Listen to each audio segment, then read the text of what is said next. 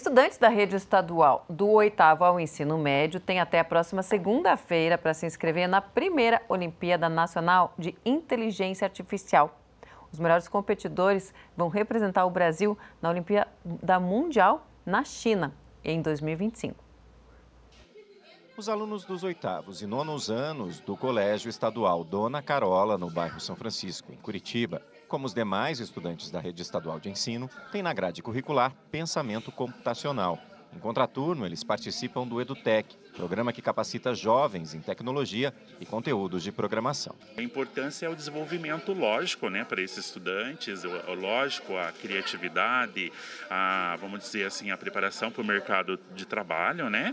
E principalmente a inclusão digital. Este ano, mais de 40 mil estudantes paranaenses estão aptos a participar da primeira Olimpíada Nacional de Inteligência Artificial, a ONIA Brasil.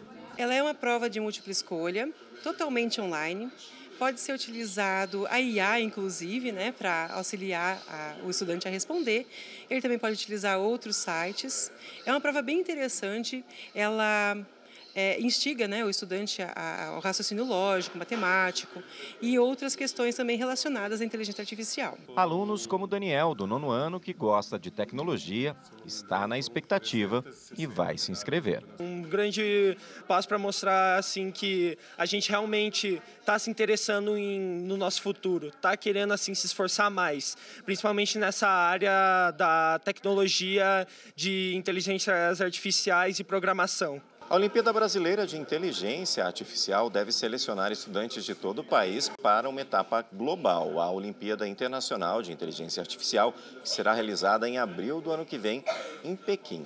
Por aqui, a torcida é grande para ver os paranaenses fazendo sucesso na China. É muito importante eles verem que eles são capazes, que nós estamos no nível de outros países, né? Que a gente pode estar lá, que eles podem estar lá e que é o futuro. A gente tem um trabalho muito bonito sendo feito pelos colegas também ali com a programação e com a robótica, né? Que também é da nossa, da nossa parte que a gente trabalha e que isso tudo vai auxiliar o estudante aí para Pequim.